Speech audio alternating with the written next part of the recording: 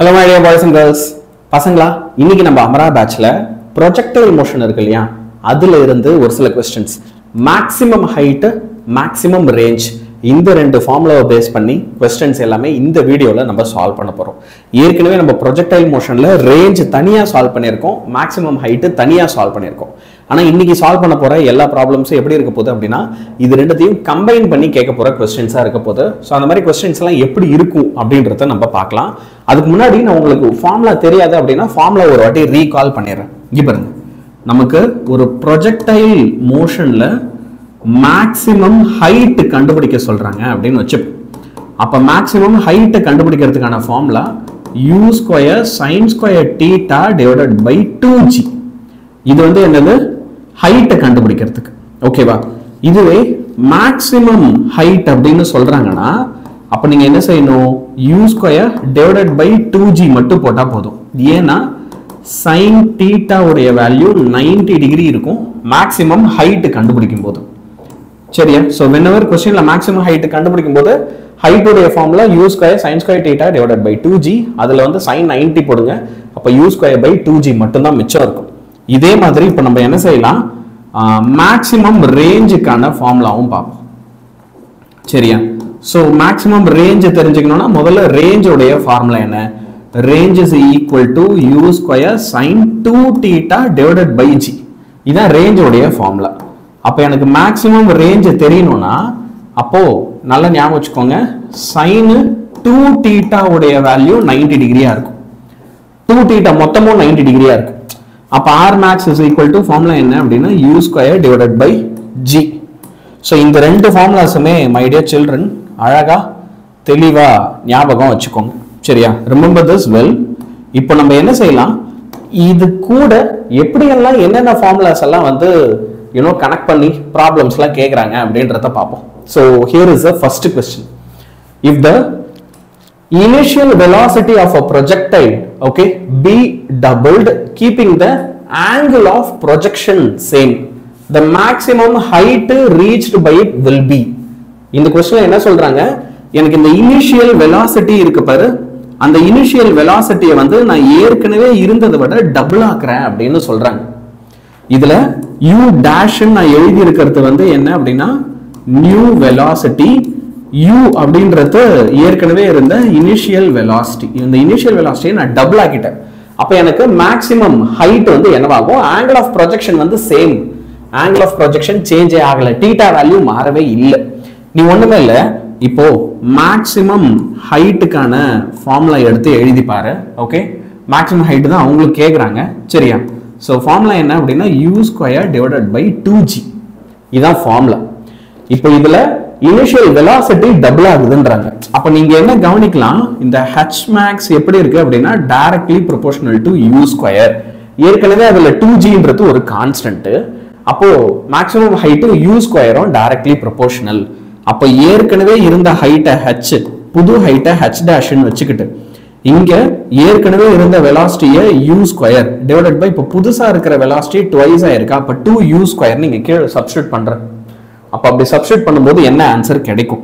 அப்போது H divided by H dash is equal to okay u square u square cancel ஆயிடுச்சுன்னா one divided by four அப்போ one divided by ஃபோர்னா புது height வந்து என்னவா இருக்கும்? ஃபோர் டைம்ஸ் ஆஃப் ஹெச்சுக்கு ஈக்குவலா இருக்கும். என்னவா இருக்கும்? It will be four times of H okay அப்போ ஃபோர் டைம்ஸ் ஆஃப் ஹெச் அப்படின்னா நம்ம வந்து என்ன சொல்வோம்? ஃபோர் டைம்ஸ் அப்படின்னு சொல்லிட்டாலே குவாட்ரபிள்ட் சரியா ஸோ இப்போ குவாட்ரபிள்ட் அப்படின்னா என்னது ஃபோர் டைம்ஸ்னு அர்த்தம் நாலு மடங்கா அதிகரிக்குது ஸோ ஆன்சர் வந்து இங்க கரெக்டானது என்ன அப்படின்னா ஃபோர் டைம்ஸ் அதுதான் வந்து கரெக்டான ஆன்சர் சரியா மைடியஸ் இப்போ அப்படியே அடுத்த கேள்வி சால்வ் பண்ணலாமா so here we go next question a ball whose kinetic energy வந்து என்னவா இருக்கு அப்படின்னா இ இப்போ உங்களுக்கு தெரியும் நம்ம கைனடிக் எனர்ஜி அதை தான் வந்து இங்கே அவங்க இ அப்படின்னு சொல்கிறாங்க kinetic எனர்ஜியுடைய formula one by two m v square இதான் ஃபார்முலாவை எடுத்து எழுதுவேன் is thrown at an angle of forty five degree with the horizontal ஒரு பாலை வந்து நான் ஹரிசான்டலாக தூக்கி போடுறேன் ஃபார்ட்டி ஃபைவ் டிகிரி அப்போ அதோட kinetic energy at the highest point of its flight என்னவா இருக்கும்? அப்படின்னு கேட்குறாங்க ஞாபகம் வச்சுக்கோ. அட் ஹையஸ்ட் பாயிண்ட் ஓகேவா யூ ஒய் அதாவது இந்த வெர்டிக்கல் வெலாசிட்டி இருக்கு பாரு அது ஜீரோவா இருக்கும். அங்க ஒரே ஒரு வெலாசிட்டி தான் இருக்கும். ஹரிசான்டல் வெலாசிட்டி அந்த ஹரிசான்டல் வெலாசிட்டியை நம்ம எப்படி எடுத்து எழுதுவோம் அப்படின்னா வி காஸ்டீட்டா அப்படின்னு எடுத்து எழுதுவோம். அட் மேக்சிமம் ஹைட் அப்படின்னு கொஸ்டின்ல சொல்லிட்டாலே எல்லா மேக்ஸிமம் ஹைட்லயும் வெர்டிக்கல் வெலாசிட்டி ஜீரோ அப்ப வெர்டிக்கல் வெலாசிட்டி ஜீரோனா ஹரிசான்டல் வெலாசிட்டி தான் இருக்கும். அப்போது நான் கைனடிக் எனர்ஜி ஃபார்முலால இதை எடுத்து சப்ஸ்டியூட் பண்ண போகிறோம் kinetic energy is equal to one by two இப்போது எம் அப்படியே வச்சிருவோம். V cos theta whole square whole square இப்போ இந்த ஒன் பை டூ எம்பி ஸ்கொயரை நான் ஜஸ்ட் இ e அப்படின்னு எடுத்துக்கிறேன். ஏன்னா கொஸ்டினில் எனர்ஜி வந்து அவங்க e இன்னு தான் கொடுத்துருக்காங்க. அதனால் நானும் ஜஸ்ட் இந்த ஹோல் டேர்ம் எந்த ஹோல் டேர்ம் வெள்ளை கலரில் ஒரு ரவுண்டு போடுறேன் பாரு. இந்த whole term I'm just taking it as E அப்படின்னு எடுத்துக்கிட்டு இப்போ காஸ் ஸ்கொயர் தீட்டா இருக்கா? So cos square forty five degree cos forty five degree அப்போ என்ன வரும்? ஒன் பை ரூட் டூ வரும். So one by root two whole square which is E divided by two அப்போ E by two எந்த ஆப்ஷன்ல இருக்குன்னு பார்த்தா பி ஆப்ஷன் அதான் கரெக்ட் என்னது? பி ஆப்ஷன் தான் கரெக்ட் சரியா? இப்போ அடுத்த கொஸ்டினுக்கு வருவோம்.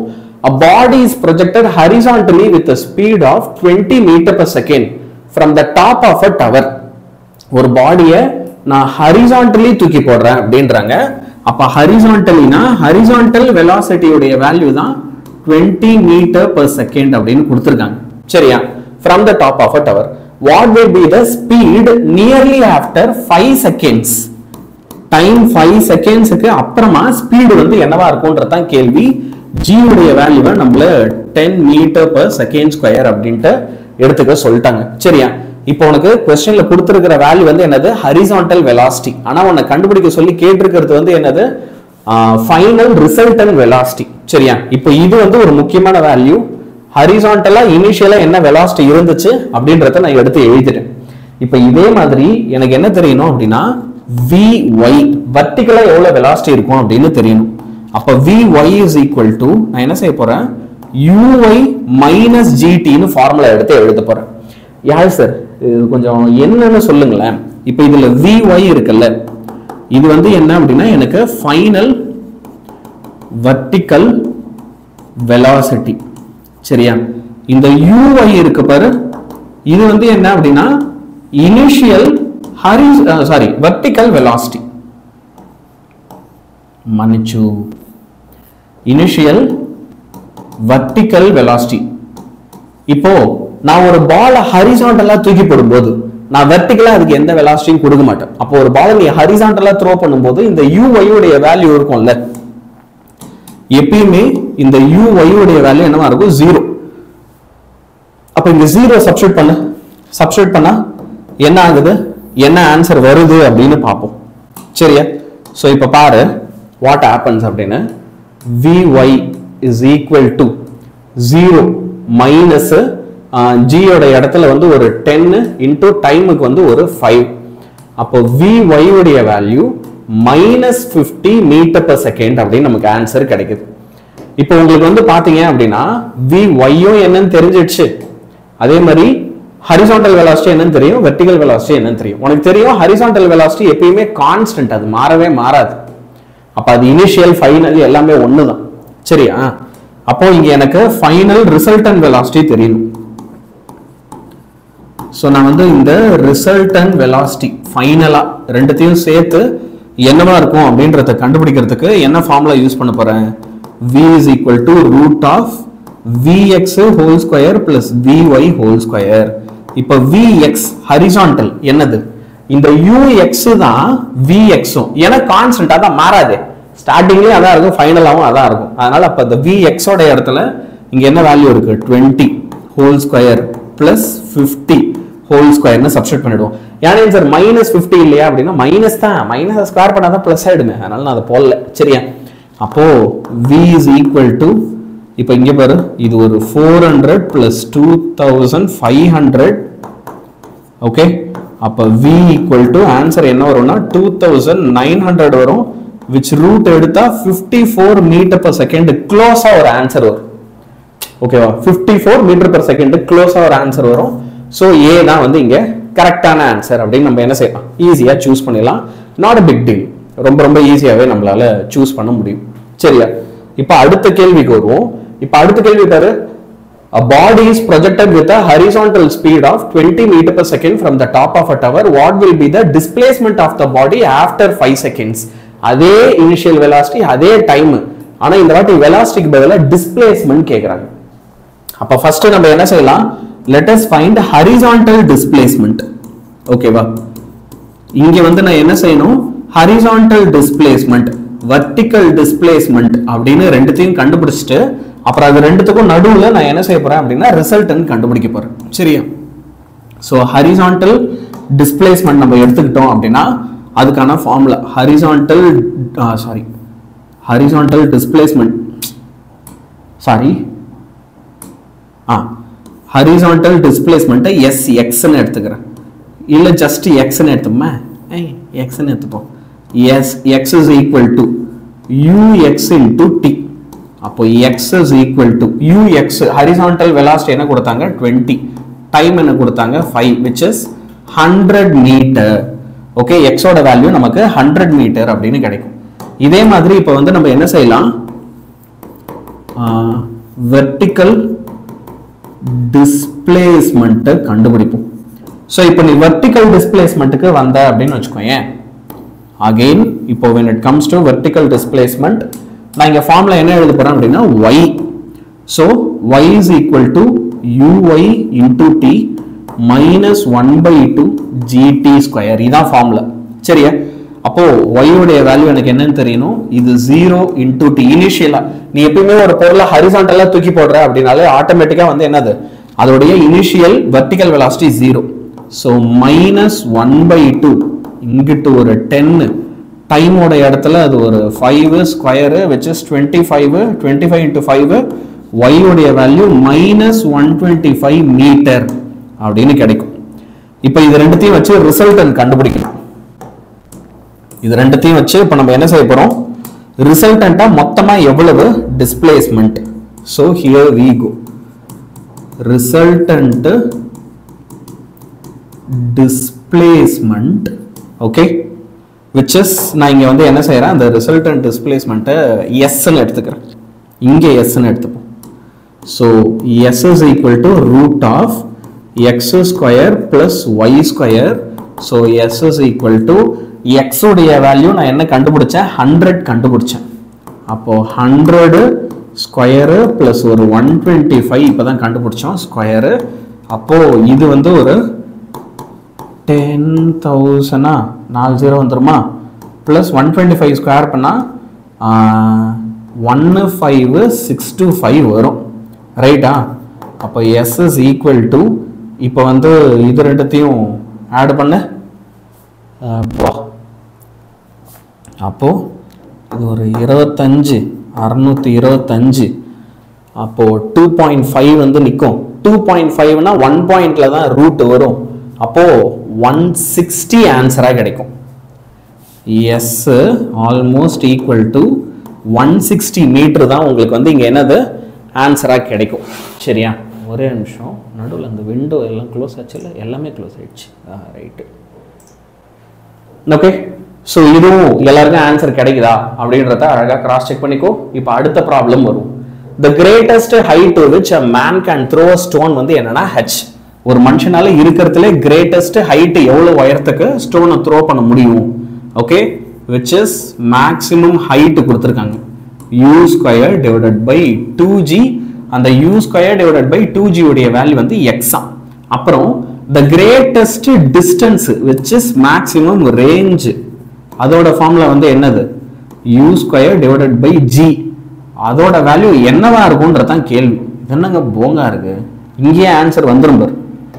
இந்த மாதிரி கேள்வி கேட்குறாங்க அப்படின்னா இதெல்லாம் ஜுஜிபி கொஸ்டின்ஸ் இது ரெண்டுத்தையும் டிவைடு பண்ணு. ஓகே அதாவது நீ என்ன செய்யணும்? மேக்ஸிமம் ஹைட்டையும் இந்த வேல்யூவையும் நம்ம வந்து டிவைட் பண்ணணும். அப்போ u square u square g g cancel ஆகிடும் சரியா? ஸோ ரிமைனிங் உனக்கு ஃபைனலாக இப்போது என்ன இருக்க போகுது அப்படின்னு பார்த்தோன்னா இப்படி வச்சுப்போம். H divided by r okay h divided by r is equal to one by two தான் மிச்சம் இருக்கும். அப்போ r is equal to two h அவ்வளோதான் இது எல்லா சம்மந்தமே பொதுவான ஆன்சர் ஓகேவா ரேஞ்ச் வந்து எப்பயுமே டுவைஸ் ஆஃப் மேக்ஸிமம் ஹைட்டுக்கு ஈக்குவலாக இருக்கும். மேக்ஸிமம் ரேஞ்ச் ஓகே மேக்ஸிமம் ரேஞ்சோடைய வேல்யூ டுவைஸ் ஆஃப் மேக்ஸிமம் ஹைட்டுக்கு ஈக்குவலாக இருக்கும். இது எப்பயுமே மனப்படமாக ஞாபகமே வச்சுக்கும் நான் எழுதி கூட போடுறேன். Okay maximum range is twice of maximum height so அதான் ஆன்சர் அப்போ டூ ஹெச் எங்க இருக்கு அப்படின்னு பாரு பியில் அவ்வளோதான் ஸோ இதில் தான் இன்னைக்கு நம்ம பேச்சில் சால்வ் பண்ண ப்ராப்ளம்ஸ்டா பசங்களா? எல்லாத்தையுமே அழகாக ஒரு வாட்டி ப்ராக்டிஸ் பண்ணி பார்த்துரு நீயே ஒரு வாட்டி சால்வ் பண்ணி பார்த்துரு இந்த ப்ரொஜெக்டல் மோஷனில் ஏன் சார் இவ்வளோ நாள் செலவு பண்ணுறீங்க ஏன்னா இது அவ்வளோ முக்கியமான ஒரு டாபிக்கு இது ஒரு பேசிக் டாபிக் மாதிரி. உனக்கு இது வந்து லெவன்த்தில் எல்லா ஃபார்முலாஸ்லையும் நிறைய இடத்துல பயன்படும். டுவெல்த்லேயும் நிறைய இடத்துல பயன்படும். ஸோ அதனால் இதை பேஸ் பண்ணி ப்ராப்ளம் சால்வ் பண்ணி பார்க்கறது ரொம்பவே நல்லது. யாருக்காவது வந்து ஆஃப்லைன் சென்டர்ஸில் நீட்லாம் படிக்கணும்னு இன்ட்ரெஸ்டடாக இருக்குன்னா எல்லாருமே எம்வி சாட் எக்ஸாம் இருக்குடா. எம்வி சாட் எக்ஸாம் எழுதலாம். அதுக்கான லிங்க் நான் டிஸ்கிரிப்ஷனில் கொடுத்துருக்கேன். தயவு செஞ்சு அதை எடுத்து எழுதுங்க. உங்களுக்கு நிறைய ஸ்காலர்ஷிப்ஸ் கிடைக்கும். யூனிவர்ஸ் எல்லாம் போகலாம் டைனோசர் எல்லாம் பார்க்கலாம். சரியா? ஐ மீன் டைனோசர் ரோபோவாக இருக்கும். உண்மையான டைனோசரில் பட் ஸ்டில் அவங்க தான் சுராசிக் பார்க் படம்லாம் எடுத்தாங்க. அதுக்கெல்லாம் கூப்பிட்டு போகிறாங்களாம் எம்வி சாட்டி எக்ஸாம் எழுதி நல்ல மார்க் எடுத்தா. ஸோ எழுதுங்க. சரியா? பாய் பாய் நாளைக்கு பார்க்கலாம்.